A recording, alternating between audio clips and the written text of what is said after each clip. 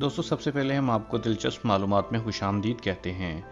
दोस्तों, आज की इस वीडियो में हम आपको वसीम बदामी के बारे में बताएँगे कि वो वसीम बदामी, जो एक आम सा परफ्यूम भी अफोर्ड ना कर सकते थे, उन्होंने ऐसा क्या किया कि आज वो एक ब्रांड के मालिक हैं। दोस्तों, वसीम बदामी का नाम सामने आते ही एक हँसते मुस्कुराते नौजवान का चेहरा नज़र के सामने आ जाता है, जिससे अवाम बेतहाशा प्यार करती है, जबकि इनके शो में आने वाले अफराद इनके पूछे जाने वाले चुभते हुए मासूमाना सवाल के बारे में सोच कर ही घबराहट का शिकार हो जाते हैं। बेहतरीन लहजे, उर्दू ज़ुबान की दुरुस्त अदायगी और सियासी, समाजी, अदबी और तारीखी और इस्लामी हर तरह के मौजूद पर अबूर रखने वाले वसीम बदामी का शुमार पाकिस्तान के इन चंद न्यूज़ एंकर्स में होता है, जिन्होंने हमेशा अपने नज़रियात के सबब, अपने मुनफरद मुकाम को बरकरार रखा है। दोस्तों, वसीम दामी की ज़िंदगी की तरफ़ बढ़ने से पहले, अगर अभी तक आप लोगों ने हमारे चैनल दिलचस्प मालूम को सब्सक्राइब नहीं किया है तो सब्सक्राइब ज़रूर कर दीजिए और घंटी के बटन को भी ज़रूर दबाइए, ताकि आपको हमारी अगली आने वाली तमाम वीडियोस फ़ौरन मिल जाया करें। दोस्तों, वसीम बदामी 7 फरवरी 1985 को कराची में गुजराती बोलने वाले घराने में पैदा हुए। और इन समेत इनके तीन बहन भाई हैं। इनका ताल्लुक एक लोअर मिडिल क्लास घराने से था। उन्होंने एमबीए तक तालीम हासिल की और उन्होंने एफएम रेडियो से अपने कैरियर का आगाज़ किया। जिसमें वो लोगों को कराची के ट्रैफ़िक के हालात के बारे में बताया करते थे और इसके लिए उन्हें सिर्फ़ साठ रुपये मुआवजा मिलता था। इसके बाद उन्हें बिज़नेस प्लस में खबरें ढूँढने के काम करने की नौकरी मिली जिसके साथ साथ वो अपनी एमबीए की तालीम भी जारी रखे हुए थे।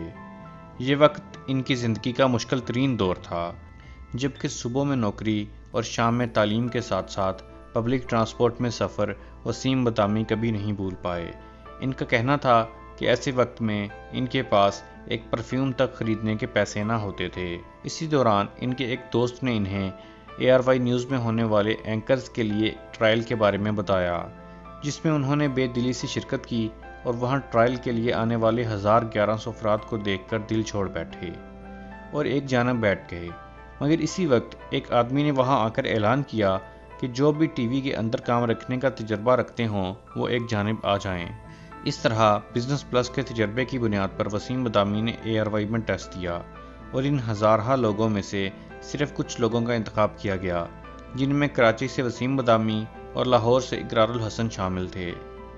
ये वक्त दर हकीकत वसीम बदामी की ज़िंदगी की तब्दीली का दिन था। इनको ट्रेनिंग के लिए दुबई भिजवा दिया गया। और इस तरह इनकी बचपन से न्यूज़ एंकर बनने की ख्वाहिश पूरी हो गई। इस मौका पर वसीम बदामी ने सख्त तरीन मेहनत की और इसके साथ साथ अपना एमबीए भी मुकम्मल किया। इसी असना में इन्हें बाज़ात मरूफ एंकर जासमीन मंजूर की गैर हाजिरी में इनके प्रोग्राम की मेज़बानी का भी मौका मिला, जिसमें इनके काम को इतना पसंद किया गया कि इनके ज़िम्मे एक अलहदा से न्यूज़ प्रोग्राम की मेज़बानी का ज़िम्मा लगा दिया गया। इसके बाद 2014 में रमज़ान ट्रांसमिशन के लिए जब कुर्रा इनके नाम निकला तो कोई नहीं जानता था कि सियासत और हालात हाजरा के प्रोग्राम करने वाला मजहबी प्रोग्राम भी इतने बेहतर अंदाज में कर सकेगा। इस सब में वसीम बदामी की शदीद मेहनत बहुत काम आई और उन्होंने सख्त मेहनत से नात गोई के साथ साथ अपने अच्छे मुकर होने के फ़न को इस्तेमाल में लाए और शान रमज़ान नामी प्रोग्राम को सफ़े अव्वल का प्रोग्राम बना डाला और इस वक्त अपने लिए परफ्यूम ना खरीद सकने वाला वसीम बदामी इंटरनेशनल हेमानी प्रोडक्ट्स के मालिक हैं और कुदरती अज्जा से तैयार करदा खुशबूयात और दीगर ब्यूटी प्रोडक्ट्स बनाते हैं। दोस्तों, उम्मीद करता हूँ कि आपको हमारी ये इन्फॉर्मेटिव वीडियो पसंद आई होगी। अगर अभी तक आप लोगों ने हमारे चैनल दिलचस्प मालूम को सब्सक्राइब नहीं किया है तो सब्सक्राइब ज़रूर कर लीजिए और हमारी वीडियोज़ को लाइक कमेंट और शेयर भी ज़रूर कीजिए। अगली वीडियो तक के लिए खुदा हाफिज़।